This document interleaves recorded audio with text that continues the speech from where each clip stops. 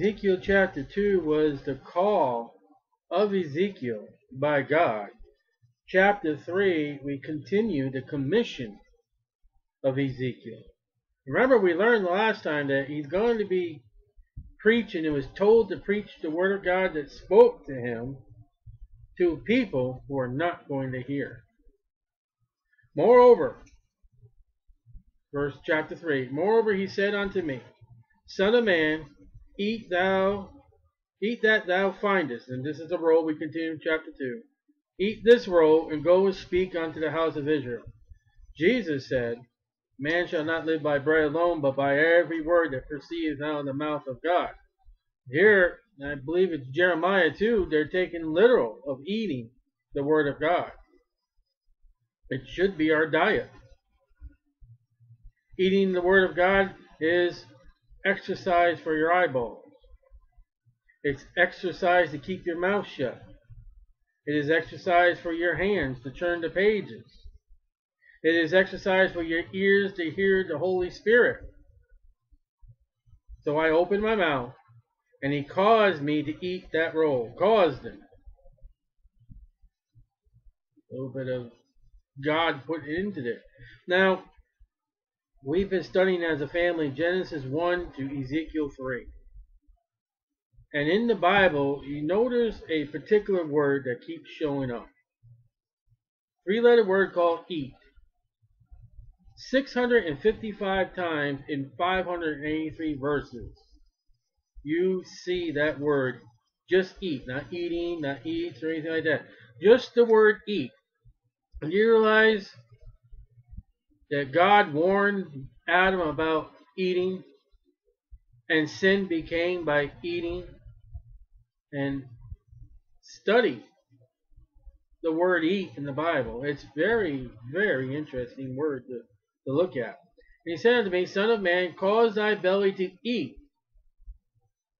So belly is not, I mean, eat is not just, you know, through your mouth and down your throat. It's also your belly. And fill thy bowels, that's your insides, with this roll that I have given thee.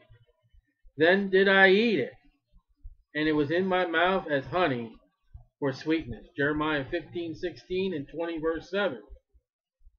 So God gave the commandment to eat, to cause him to eat, and openly and willingly and knowingly, chapter, uh, verse 3, he eats. He obeys God's command. Whereas Adam was told not to eat, and Adam forbeared what God said. He said unto me, Son of man, go get thee unto the house of Israel, and speak with my words unto them, not man's words. So have I said before, when I go and preach the gospel, when I go help the men at the prison, I'm going to have an open Bible. And I will tell you what I think, what I say, what I have to do. And I will read to you from what the Bible. And if I'm going to quote a verse and I'm not sure I'm quoting it right, I will tell you verbatim or I'm not sure, but I think this is, I think it was that prophet. I think this book holds. But I can be wrong. But where I go with the Word of God and it's open black and white or red and white, I can't go wrong. For thou art not sent to a people of strange speech and of a hard language. Now, to illustrate that for me, if God were to pluck me up and plant me in Poland, plant me in Afghanistan or China, Japan, or Russia, that would be people to me that is strange speech and a hard language. I don't understand. I couldn't talk. I would have to have an interpreter for me to speak to them and them to speak to me. And what God's telling Ezekiel, but to the house of Israel, the language you're going to speak, the ministry you're giving Ezekiel is called Hebrew, and you know it. And the people you're going to speak to are Hebrews. You don't need to learn a new language. You don't need to know Hebrew and Greek. I'm going to send you to an English speaking people with an English speaking Bible today. Ezekiel's not called to learn Greek. He's, he's already been taught Hebrew. not too many people of a strange speech and of a hard language, whose words thou canst not understand. I'm sending you to your own people in Babylon. Now, there are a bunch of people right now where Ezekiel is. He's in Babylon. They're speaking a language that they don't know. And God's saying, don't go to them. Didn't Jesus often tell his disciples, don't go the way of the Gentiles, don't go into to, to, those people? He says, I've sent to my people with his language, the language that they spoke. They perfectly understand remarkably what Jesus said because it was in their language. Babylonians may not even understood what Ezekiel said, but the Jews did. And when you get to Ezra and Nehemiah, you got to understand that something has happened in the 70 years. They and their children have forgotten what the Jewish language was.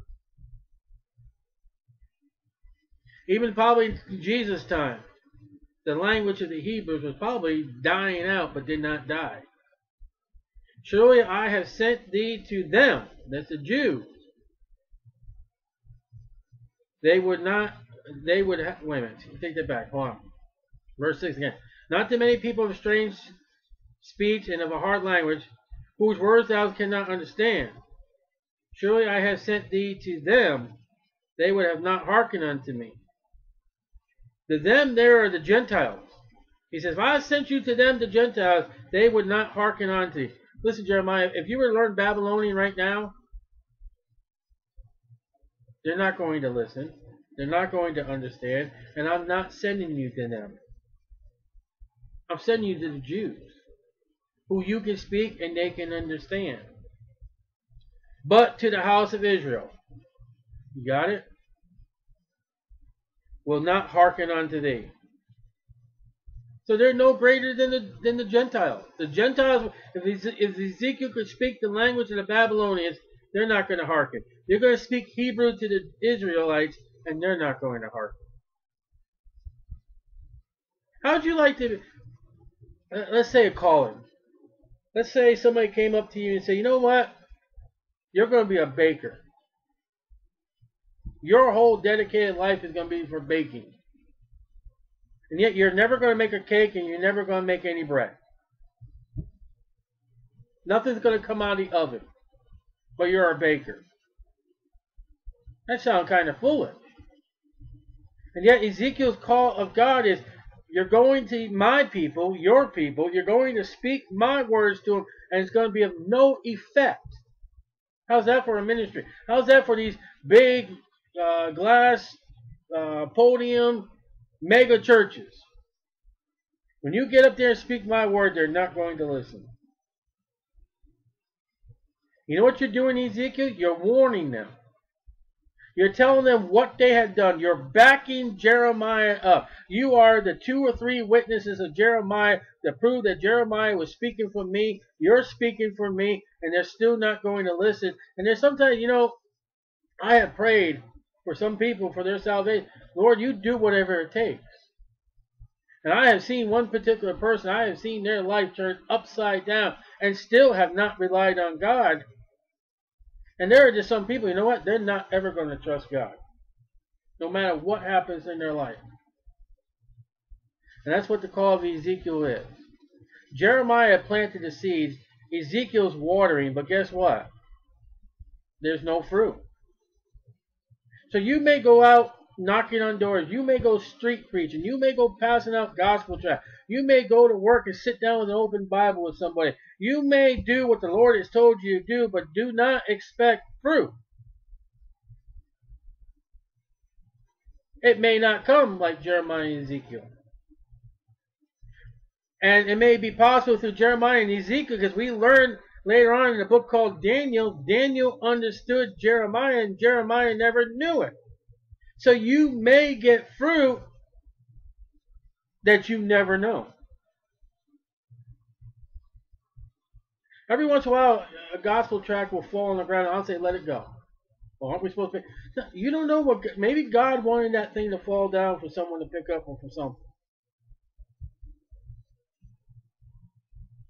You don't know what a gospel tract will do later. You don't know what your voice has done in someone's heart later. You may not get the results now. You may never ever find out about the results now. God may allow you. I know personally of three people that I have four, five, six people that have that have asked the Lord to save them. I know there's more than six, but I'm not going to go notching my belt, then I'll get prideful. I support missionaries, a few of them. There's results and fruit from them that I'm not going to find out until later. You know, you take every one of these mega churches and these radio ministries. If God were to walk up to them and say, listen, you're going to be preaching to a bunch of people not going to listen, you think they'd be in that business today? You walk up to Joel right now and tell, hey, listen, no one's going to listen to you. No one's going to care for you. No one's going to buy in your book. Are you going to continue? You think he would? Ezekiel and Jeremiah did. And that's one of the things that people come up to my family. To wait, where are the people? Where are the results? I don't know. God does.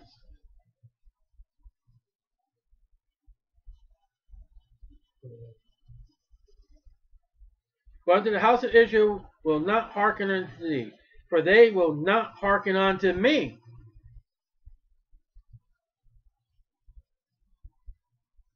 Uh, Ezekiel, I was going to say Jeremiah. Ezekiel. Don't worry about them not listening to you because they already have not listened to me. And Samuel said that when they wanted a king. God spoke to Samuel, say, Samuel, it's not you they rejected. They rejected me. It's not your pre you're too loud, you're too mean, you don't have no, it's not you. It's the word of God. Now if I went on the street corner and cussed out every four lettered word and every three lettered word that was filthy and abominable, okay, it's my language, it is my tone, it is my loudness. But if I get in there and say, You must be born again, where there is none righteous, no, not one, all have sinned, come short of the glory of God, all have sinned. I mean, uh, the wages of sin is death. If I quote from the scriptures and I be loud about it, it's not me, it's God. I'm only confirming what the Bible says. Listen, those people are not going to be in church. A lot of funerals and weddings today are not being held in churches.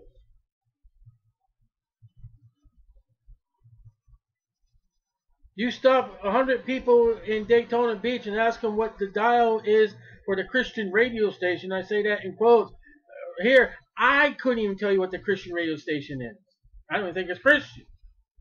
You think they stop and listen? Unless they have a mechanical failure on their radio, that's the only way they're going to stop. That would be the only way they would hear the word if you come knocking on their door, if you hand them a gospel tract, if you leave a gospel tract, or if you preach to them on the street. That's the only way they're going to hear, and it's up to them to do what they're going to do. You can't force them. And God tells Ezekiel, they have not listened to me, but I am sending you as a witness to what I have said, even though they're not going to listen. Sally, why do you preach on the street? They're not hearing you. They're not listening. But God said, go. And be known that it's me they have rejected and not you.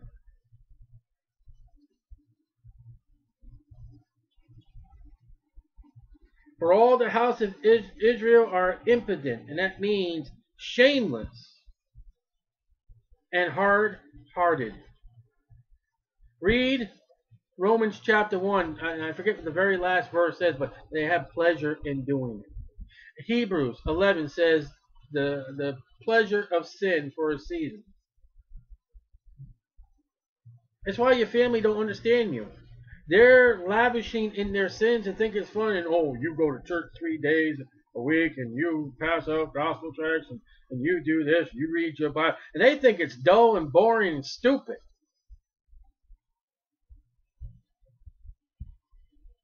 And yet, when you tell them about the Bible, what the Bible says, they don't hate you, they hate the Word of God. Behold, I have made thy face strong against their faces, and thy forehead strong against their forehead, banging heads. You think, oh, somebody comes over, you're too loud. You think, you know, because someone criticizes what you're preaching or knocking on their door, giving, they've done the same thing to Ezekiel. 1500 years later, they're still doing what they did in Ezekiel and Jeremiah's time. After their nation, after their city, after their church, the temple has been destroyed, after everything that Jeremiah has said has come to pass, they are still banging heads against God through his man. They banged heads with Jesus Christ the Son of God. There are religions out there still banging heads against Jesus. Even though when you open a Bible to them and show them, because their Bible doesn't say it's so. As an adamant harder than flint have I made thy forehead. Ezekiel is a lighter. That's what makes a, a lighter light, the flint, against that wheel. And the light that Ezekiel is carrying is not to light up a cigarette or a pipe, it's light up God, Jesus Christ, who is the light, John chapter 1. The same kind of rock that God used to water Israel in the wilderness. That flint has absolutely no uh, liquid or perspiration or water in it. It's the hardest and driest stone. That is a type of the Lord Jesus Christ and also a type of Ezekiel who is called a son, the Son of Man, who is also the title of the Lord Jesus Christ. So when you read Ezekiel, you're reading about the Lord Jesus Christ. A type Oh yeah, they received Jesus when, when, when he became the emergency room. He became the medic. He became the healer. He became the doctor. He took care of their lives. But when it came to him dying on that cross, where were they?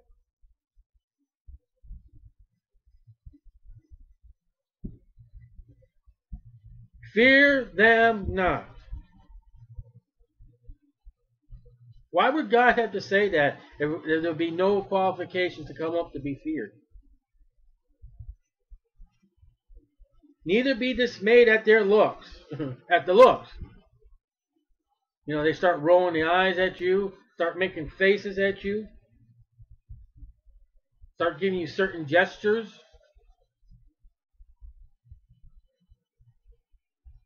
Though they be a rebellious house. Now, if God says that about his own people, the Jews, in captivity, after all the judgment, what do you think he's going to say about America? America has done everything that Judah has done. Now, I just learned the other day this this this Pompeii volcano that went off and the destruction and all that. And there was just some things, and there's a video I, I want to watch, but it's it's perverted sexual thing. But what they're saying just moments before that this volcano erupted, that there was this uh, uh, festival, and what this nation has done from time after time after time only shows the judgment upon Judah, the judgment upon nations, the judgment that's coming upon America. You can't get away with your sins and think it's going to be happy-go-lucky for the rest of your life. That Pompeii city was filthy. It was disgusting. And that volcano was just a judgment of God.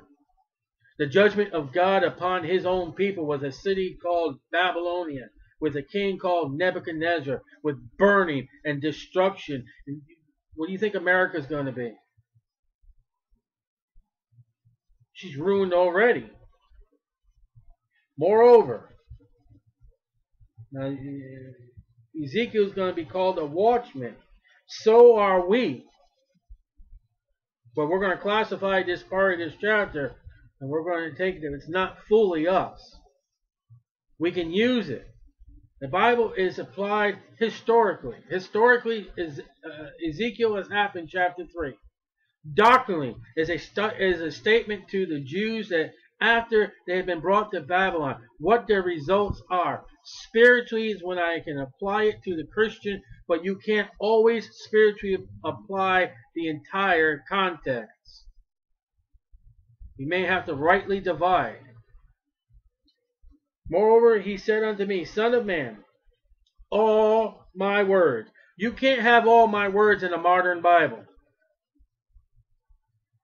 They're added, they're subtracted, they're footnoted. That I should speak unto thee, receive in thy heart, not head. For with the mouth confession is made unto salvation. With the heart man believes unto salvation. You better believe when, when you're witnessing to somebody and they're going to confess Jesus Christ as their Savior, it better not be lip service. It better be heart service. And we're going to see later on lip service of, of Ezekiel. Lip service will come. And God will proclaim that these people have lip service, but they got no heart service. There are plenty of people out there who have lips said they received Christ, and in their heart they have not, and they're going to find out that the judgment of God be, Depart from me, I never knew you. But Lord didn't depart from me, I never knew you. You better be very careful when it comes to someone's soul and being saved. It better be done the Bible way and not your way. Study the heart with eating. Hear with thy ears, not with your mouth open. You can't hear with your mouth open. And go get thee to them of the captivity, the Jews that are already in Babylon. Unto the children of thy people, the Hebrews, the Jews, we, we just studied that early in chapter 3. Speak unto them and tell them Thus saith the Lord God. You're to go to your people, speak to them, and you're to tell them, Thus saith the Lord, and open up the Bible and tell them what God has said. And what's going to be the reaction? Whether they will hear or whether they will forbear. Um, God does not want to excuse, Christians. They're not going to listen to me. They're not going to do nothing. They're not going to get saved. They won't. Then the Spirit took me up, kind of rapture. I heard behind me a voice of a great rushing. That may be the, that may be the sound of our rapture, though. Uh, as a twinkling of an eye, we may not even can't even fathom what the rapture is going to be like for. Boom, they went gone. Well, here we are, meeting in the clouds. We may hear a sound. Blessed be the glory of the Lord from His place. I heard also the noise of the wings of the living creatures that touch one another. Now, we're not going to hear that. Remember, Jeremiah just, um, I keep saying Jeremiah, we studied 52 chapters for five Lamentations. We just learned Ezekiel seeing these creatures. They're still there.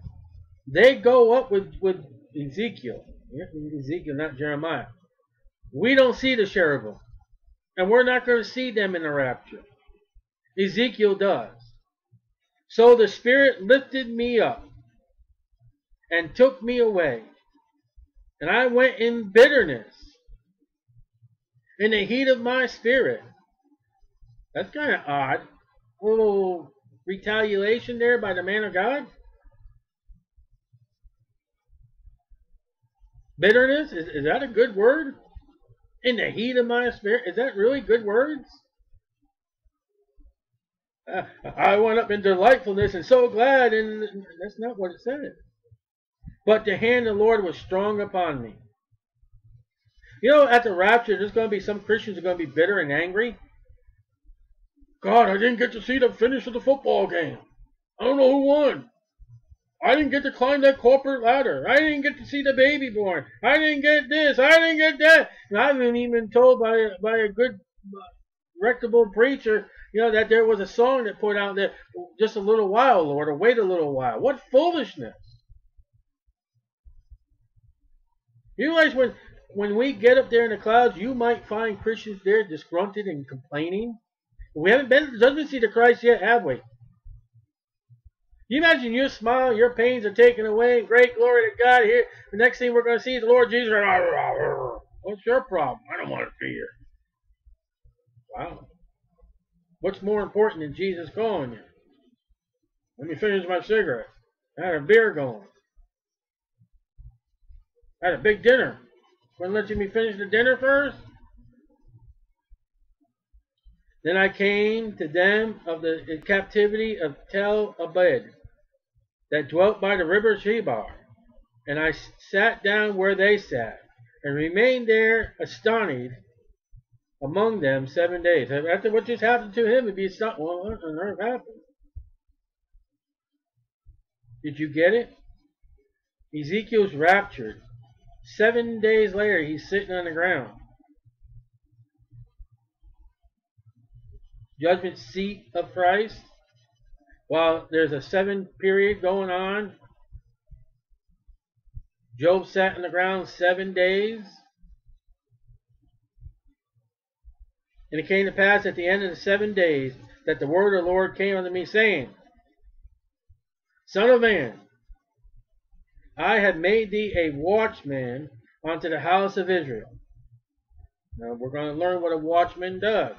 Therefore, hear the word at my mouth. A watchmen is to hear the word of God.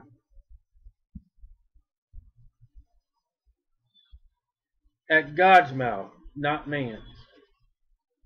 You better have the right Bible. Because if you got a man in the pulpit quoting from a modern Bible, that's not God. That's Satan. That's man. That's education. That's somebody's got something on the wall to show you. And give them warning from me. You want to be a watchman? You go to the people after you heard the word of God and you warn them. It doesn't say save them, does it? Now you can scream for a vast population of people to hear you. As much as you can say to the cashier, here, I'd like to give you a gospel tract about the Lord Jesus Christ that you can read on your time.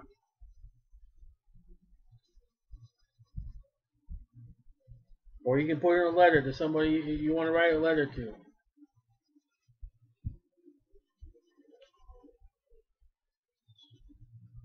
When I say, who said? Who's the I? God. Now watch. God's speaking now. When I say unto the wicked, Thou shalt surely die, and thou givest him not warning, nor speakest to warn the wicked from his, from his wicked way. Do you realize before you go speak to the people the warning, God has already spoken to them?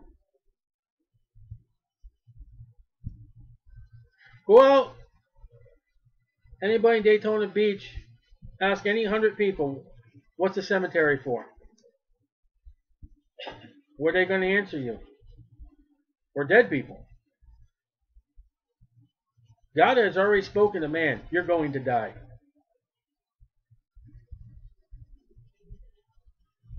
Now, what are you to warn them? What happens after you get buried? What happens after death? Not about the Great Tribulation period. Not about the, the four creatures we, we read about in Ezekiel 1. Not about how many animals were in the ark, where Cain got his wife, or any philosophical or any theological study that you can find in the Bible, and there's a ton of them to study. There's many interesting things to look at the Bible, how Jesus fed the 4,000, and blah, blah, blah, blah, blah. What are you going to do with a lost man? God has already, God has already told him he's going to die. Most fear death. What do you got to warn him? Can't you just preach a little love? Excuse me, miss, can you tell your husband to preach just a little more love? Is there love after death? Oh, yeah, yeah, yeah. Me and my wife are going to join up together. Didn't Jesus say we're going to be as angels, so never given into marriage? So you can rule that out. There's even stuff you can tell a Christian about death. You're going to face Jesus Christ just because you're saved. You know, you know, you can earn eternal rewards. You can earn crowns. But God has already spoke to them. And thou givest him not warning, nor speakest to warn the wicked from his wicked way, to save his life. Jesus said, I am the way, I am the truth, and I am the life. There it is in verse 18. The same wicked man shall die in his iniquity. You don't want to die as that. That's what you should tell him. He's going to die in his sin. What happens when he dies in his sins? What else is there else to talk about? When you're dealing with lost people. There's no time for magic. There's no time for face paint. There's time to preach about hell. It's time to teach about you're going to die. What are you going to do before you die? Why do you have life insurance?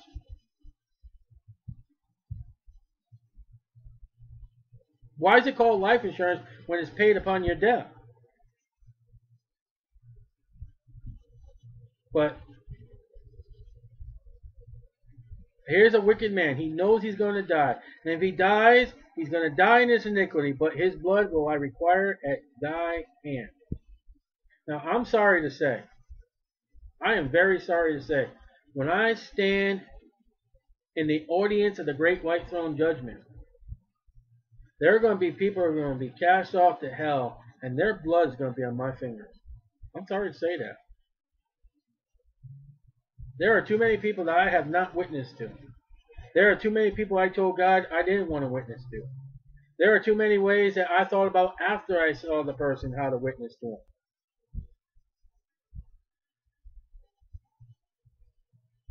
You can't just say I don't know or I'm not going to do it and just think, okay, oh well, once I pass the judgment seat of Christ, all will be done. I'll lose a crown, whoopie do, oh well. as you see these people who die in their iniquity at the great white throne judgment. The tears are not wiped away to uh, Revelation 20 or at least 21. The tears are not wiped away into, into 21 or 22, and the great white throne judgment is in Revelation 20, what do you think you're going to be doing at that great white throne? When mama, papa, son, daughter, grandma, grandpa, aunt, uncle, that that boss you hated, that co-worker that you would be offended to speak Jesus. Listen, I'm preaching to myself too.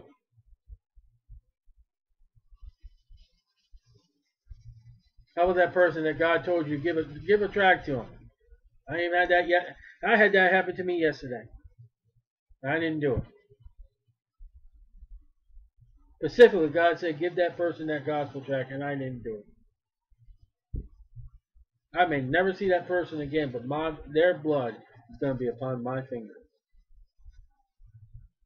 I didn't warn them. And I'm a street preacher. And I try to leave a gospel tract out every day. And I have failed.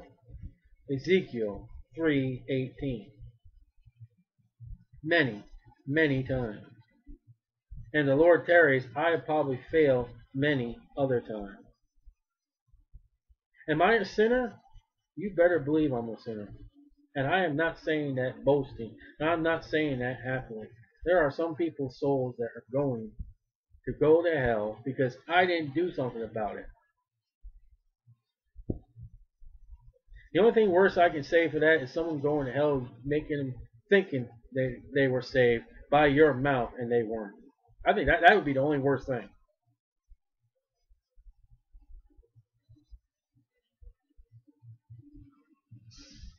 Yeah. Thank God for that, yeah. If thou warn the wicked, go ye in all the world and preach the gospel. And he turned not from his wickedness, nor from his wicked way, he shall die in his iniquity. Where does he go? He goes to hell. But you warned him. What's street preaching? What's door knocking? What's gospel tracts have to do? What's those bumper stickers have to do anything? But thou hast delivered thy soul. If a man at the great white throne judgment goes off to hell, and you tried some way, somehow, for them not to go. Nothing happens to you. There's no blood. There's no tears. Maybe tears if it's a family member, I, I would assume. But I'm saying as far as guiltiness. You are guiltless. You are sinless. You tried. Listen, I have been witnessing, I have been praying for one person since the day, the day after I got saved. 1987, you figure out how many years it is, it's 2015. I have done my part. I'm still doing it.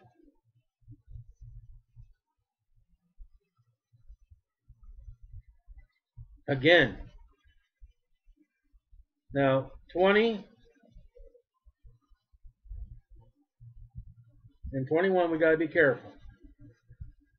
Again, when a righteous man doeth, doeth, I hate that word, doeth, does, turn from his righteousness and commit iniquity, and lay a stumbling block before him, he shall die.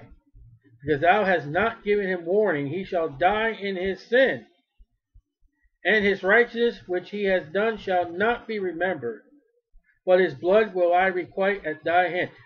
We are in the Old Testament. Here's a man who did right, did what he was supposed to. He died. He died in sin, and he goes to hell. Old Testament. Old Testament. Old Testament.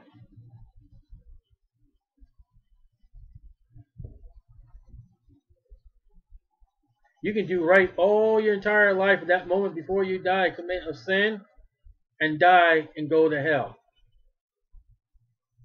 In the Old Testament. Old Testament. You heard me. Old Testament. How can you apply that to a Christian today? You know a man who's saved,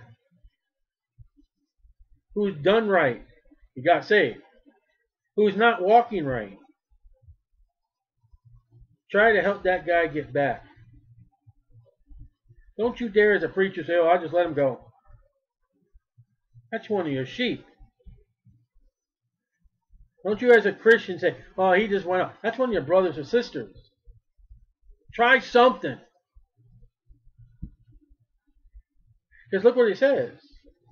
For his blood will I requite at thy hand. You don't try to warn him. As a Christian, when that guy stands at the judgment seat of Christ and is at loss, you're at loss. Uh, Jude. Uh, let me go to Jude. I think it's Jude.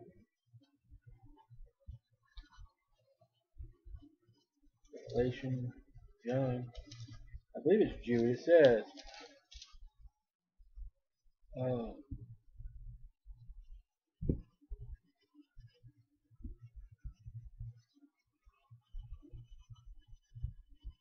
that's what it's saying, but that doesn't have anything to do with this, this content. I must be thinking something else. As Christians, we're supposed to support, help, cry, laugh, pray for one another. And when we see someone start falling by the wayside, we're to help them. You know, the Amish people in Pennsylvania, you know, when when when one wants a barn to be built, the entire community spends a day and helps that guy to build his barn. Yeah, but as Bible believing born again Baptists, when someone starts falling by the way, we get on the telephone, we start rapping the the the uh, the rumor lines. We start speaking against them. That ought not to be so.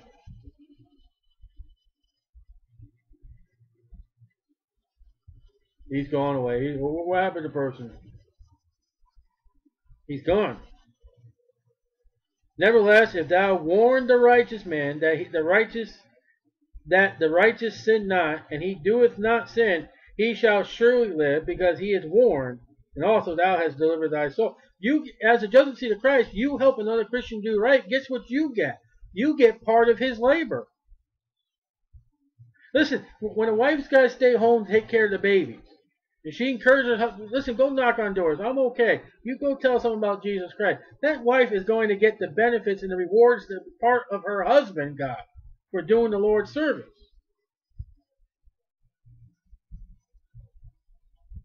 Now, when you have trained up a wife and, and you're in a grocery store and you get what you need and all that, blah, blah, blah, and you turn around and your wife's passing out gospel tract to people saying, let me tell you about Jesus, let me tell you about Jesus. Listen, that's a joint reward. That is something to be happy about.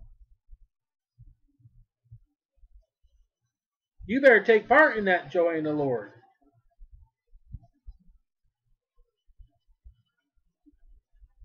And the hand of the Lord was, was there upon me. And he said unto me, Arise, go forth into the plain. And I got Genesis 11, 1 through 3. And I will there talk with thee. Then I rose and went forth into the plain. Behold, the glory of the Lord stood there, as the glory which I saw by the river of Chebar, And I fell on my face. And the Spirit entered into me. Now that's something that's remarkable. I don't know if that's ever happened anywhere else in the Bible. Usually the Spirit is in the Old Testament. The Old Testament. Old Testament. You got me on that? Old Testament. Usually, I think the Holy Spirit does not enter. Usually he comes upon. But here it's remarkable to think that the Holy Spirit enters into Ezekiel. You know, at the baptism of Jesus Christ, the Spirit rested upon Jesus, not in. After the death, burial, and resurrection of Jesus Christ, receiving Christ as your Savior, you get the indwelling Holy Spirit, as Ezekiel gets here. And set me, set me upon my feet, and spake with me, and said unto me, Go, shut thyself within thy house. House arrest is in the Bible. But thou, O son of man, behold, they shall put bands upon thee, handcuffs. Ezekiel, here's your commission. What's the first thing going to happen, Lord? They're going to handcuff you and give you house arrest. Isn't that a great commission? I just want to go out and serve the Lord. Do-da, do-da. And shall bind thee with them, and thou shalt not go out among them. You're not going anywhere. And I will make thy tongue cleave to the roof of your mouth. You're not even going to be able to speak, Jeremiah. I, mean, I keep saying Jeremiah. I'll get Ezekiel by Ezekiel 40. Then when we get to Daniel, I'll be saying Ezekiel. I will make thy tongue cleave to the roof of thy mouth, and thou shalt be dumb. What is the meaning of dumb in the Bible? You're not able to speak. So when you call someone dumb because they're not smart, you're dumb by opening up your mouth when you shouldn't have opened up your mouth. Because opening up your mouth means you're dumb. I mean, you're not dumb.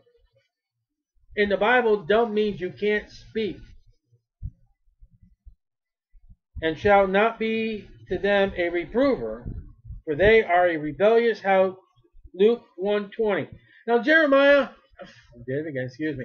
Ezekiel, I want you to go to these people. I want you to tell these people. I want you to speak my word. Yes, Lord. All right, what's going to happen? They're going to handcuff you. They're going to give you house arrest. All right, Lord, what's going to happen? I'm not going to make you be able to speak.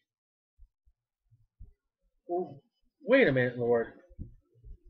You want me to tell them, but I can't go out my house, and then you're going to make me dumb so I can't tell them. It, doesn't God have a great commission for his preachers?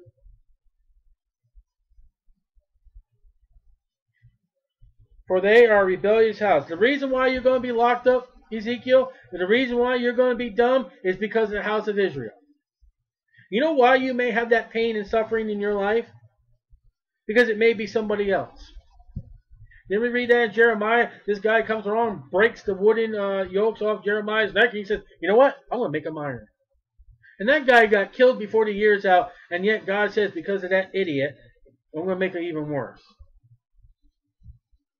I don't. That's one thing I don't like about God. I don't like suffering, and I don't like suffering for someone else's example.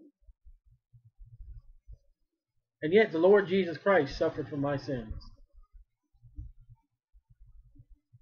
How's that for example of Jesus Christ to Ezekiel?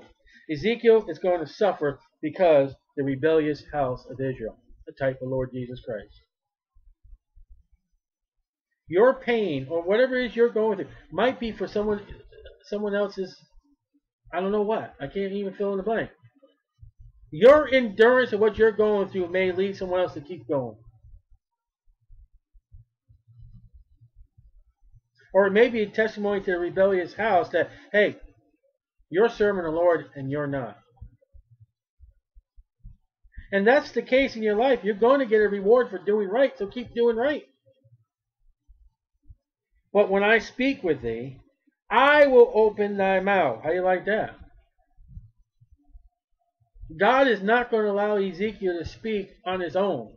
The only way Ezekiel is only going to know a way to speak is when God loosens his tongue and puts the words in his mouth. How's that? I wish God do that to me. I wish God would have me to shut up when I need to shut up and speak only when he wants me to speak. But the problem is my big flapping tongue, James says, is an unruly fire and can't be tamed. That's another sin I got in my life. My flapping tongue. Now, if you ain't got sin, you ain't got a tongue. The next time someone tells you, well, I don't sin, open your mouth and say, ah, yeah, you do. I see it right there. What? What do you say? I see a tongue. Open up to James and show him about the tongue. Now, I'm sure your, your tongue has at least offended your spouse at one time, if not your boss or co-worker. I will open thy mouth, and thou shalt say unto them, Thus saith the Lord. I'm going to read. Thus saith the Lord God. You know what you're supposed to do when you open your mouth? Better be, Thus saith the Lord God. Anything else is. You know, Jesus said, Every idle word you speak, you're going to give account thereof. The word of God is not idle.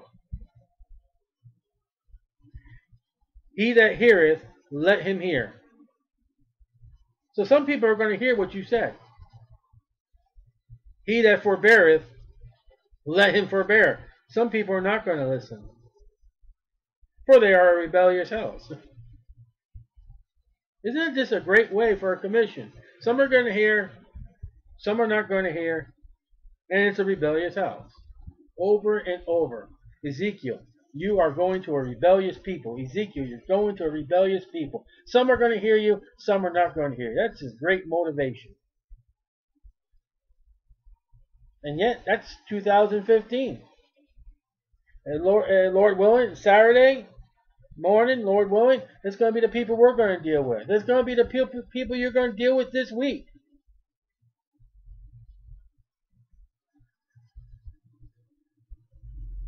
You're not alone.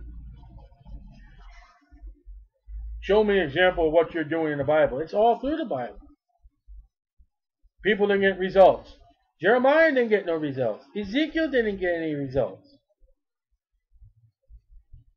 Did you, did you read the end of Mark? Why did Jesus get mad at the disciples at the end of Mark? They had three witnesses that he arose from the grave, and they still didn't believe. Three witnesses, and, and the, the, two men that in the so that's four witnesses. And yet he kept telling them over and over in their life, they're going to kill me. They're going to despitefully use me. And when I'm risen from the grave three days, then you'll see me in, in uh, I forget what, Galilee. And you know, Lord, can we sit on your throne? Lord, who's the great? They were so paying attention to themselves. And then when, they, when Jesus did rose from the grave, they didn't listen. And even one, hey, we saw Jesus. 12, 11, 12, 13, 14, 15, at least 15 people have seen Jesus since then. And one guy says, unless I put my hands in his prints of the nails and the, the hole of his side, I'm not going to. What?